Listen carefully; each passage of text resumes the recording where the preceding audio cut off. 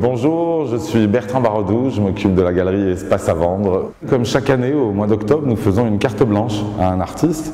Et cette année, c'est Karine Rougier qui est à côté de moi et qui présente à la fois dans la première partie de la galerie, donc l'espace où nous sommes, euh, un travail à la fois de peinture, de sculpture, enfin en tout cas de, de pierres peintes, de gravures, de gravures anciennes rehaussées, de cartes postales retravaillées, mais euh, avant tout de peinture à l'huile sur bois, comme vous voyez euh, derrière nous.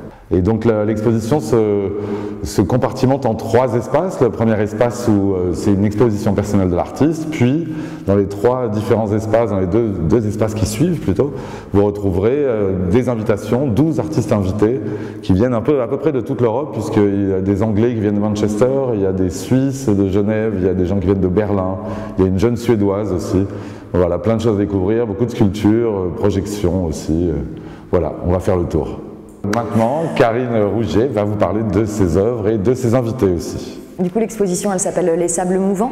Et euh, l'idée au départ, euh, pour les peintures, en tout cas les peintures à l'huile, j'ai fait une série où je suis partie sur. Euh, je me suis inspirée du mythe de Io et Jupiter, où c'est une peinture du Corrège où il y a une femme qui est, qui est en arrière comme ça et elle est enveloppée par, par Zeus qui s'est transformé en une nuée, en une nuée comme un nuage. Et donc j'avais envie, en tout cas dans plusieurs peintures qu'on peut voir ici, de l'idée de travailler sur, euh, sur euh, la femme qui est, qui est enrobée et qui est en contact avec comme ça une espèce de forme monstrueuse mais qui est quand même douce et, un peu impalpable. Donc c'est de la peinture à l'huile sur bois, donc c'est des panneaux de bois qui sont enduits avec un, après qui est, que je fais avec de la colle de peau de lapin et du plâtre. donc on arrive à une matière qui est très lisse et blanche comme du papier pratiquement. Et ensuite par-dessus il y a de la peinture qui, qui est posée. Et, euh, après les scénettes. Euh, après il y a un travail de cartes postales aussi qui sont revisitées. Euh, là c'est des cartes postales que je trouve dans les, dans les marchés ou dans les, qui sont quand même plutôt toujours anciennes, qui ont un grain en tout cas ou des couleurs qui, qui vont me parler. Et ensuite j'interviens dessus à la gouache et à l'aquarelle. Donc là il y a une série de ça aussi. Et un travail plutôt récent de pierres peintes, c'est des pierres que j'ai récupérées dans une rivière cet été et sur lesquelles j'ai peint, j'ai revisité, euh, j'ai fait des petites poupées Kachina, euh, il y a Icar aussi qui est sur une pierre, etc.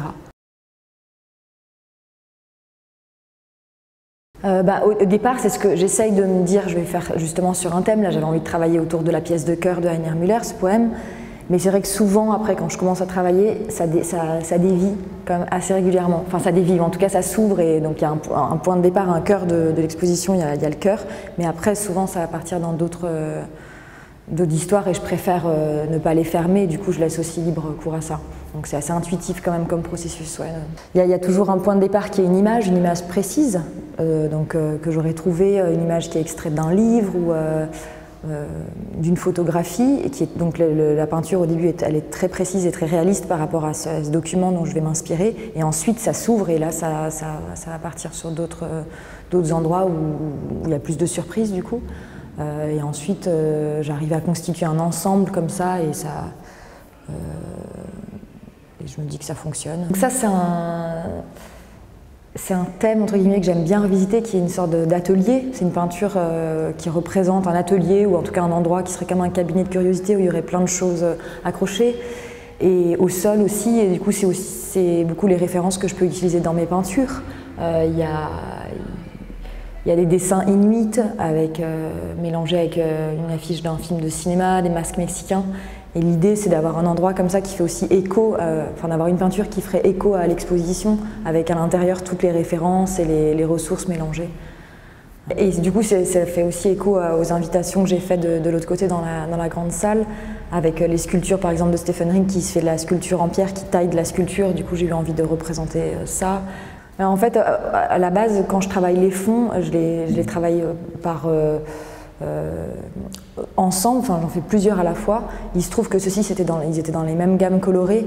Et après, les histoires, elles sont assez différentes, mais étant donné que la couleur derrière, elle, est liée, je me disais que ces petites statuettes, elles pouvaient peut-être être extraites de cet endroit-là, qu'elles avaient été posées dans ce paysage, et que finalement, cette scène, elle pouvait aussi se retrouver accrochée là au mur, donc ça fait comme ça un écho. elles sont elles sont pas liées directement, mais par, euh, par des indices, ouais, elles peuvent être liées. Par exemple, il y a un dessin qui s'appelle Ocel.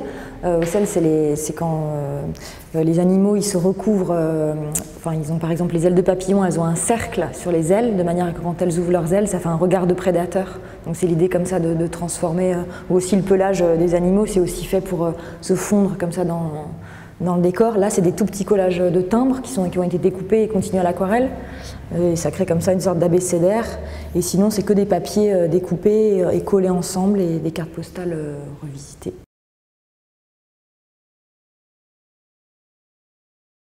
Bertrand m'a proposé d'inviter euh, qui je voulais, donc c'était pas mal.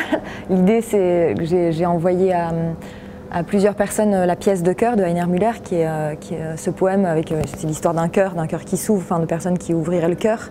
Et donc j'ai envoyé à plusieurs artistes dont j'aimais le travail, des gens que je connaissais pas, je les ai contactés pour, pour leur proposer ça. Il se trouve qu'on est 11, donc l'idée c'était de faire une sorte de d'histoire de, cœur avec euh, et des paysages de, de, forêt tropicale dans lequel il y aurait à l'intérieur des petites statuettes sculptées et on passerait aussi vers euh, des petites têtes entre les doigts de main et de la céramique. Donc on a comme ça et de la peinture et un travail de sculpture avec au centre une sorte de, grand euh, totem qui, sur lequel sont posées les sculptures.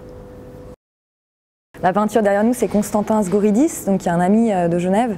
Il se trouve qu'au départ, je lui avais demandé, en visitant son atelier grâce à, mon ami et son ami aussi euh, Magali Dougados, une photographe. Et là, j'aime beaucoup celle-ci parce que c'est une femme qui est allongée euh, sur, ce, lion et qui regarde comme ça le, paysage de la jungle derrière elle. Bah, elle m'inspire en fait, voilà, et je la, je la, trouve superbe. Il y a cette peinture du douanier Rousseau où il y a le lion qui est allongé et avec, il y a quelqu'un qui dort, il y a un lion aussi qui arrive près de lui que j'aime beaucoup, je trouve que ça, faisait écho. Donc les films en 16 mm, c'est une collaboration que je fais avec une amie qui s'appelle Valérie Pelé. Donc on fait ça ensemble, elle, est plus euh, dans le monde du cinéma et du documentaire.